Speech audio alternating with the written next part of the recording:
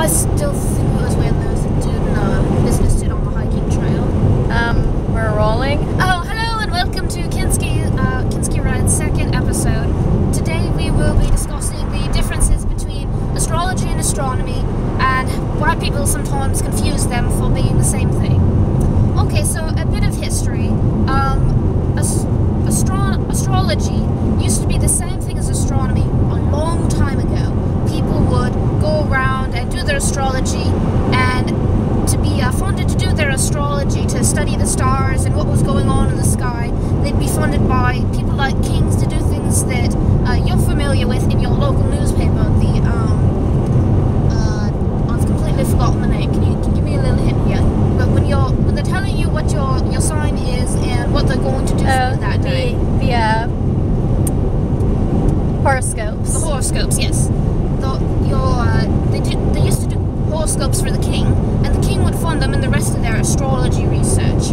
Well, uh, astrology itself literally means study of the stars.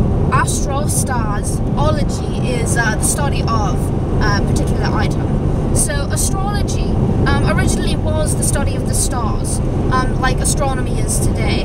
But a few hundred years ago, or maybe a couple thousand, it was a while ago that they decided that um, astrology and astronomy were two separate things. Astrology started to become more about the horoscopes and what your life would be like, um, based on some uh, some various things that the stars would do up in the sky.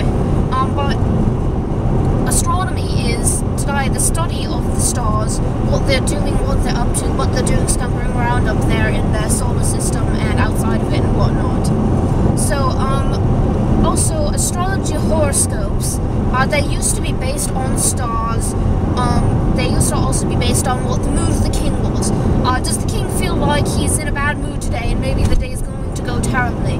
Well, let's write a horoscope that reflects that and that maybe hints at the end of the day is going to be much better than uh, he would otherwise hope it would be. So, uh, horoscopes would, were only slightly based on uh, the stars, um, were generally more based on what the king in a horoscope. And that's the same sort of thing that they do in modern horoscopes today. Is they just say, well, what sort of thing would a person like today? What sort of thing will they pay to uh, get a newspaper for so they can read their daily horoscopes? So um, that's my personal opinion on uh, horoscopes, and also that's a bit of the reality behind them. But then, um, so that's the difference between astrology and astronomy. Astrology is the horoscope side, and then astronomy is the studying side.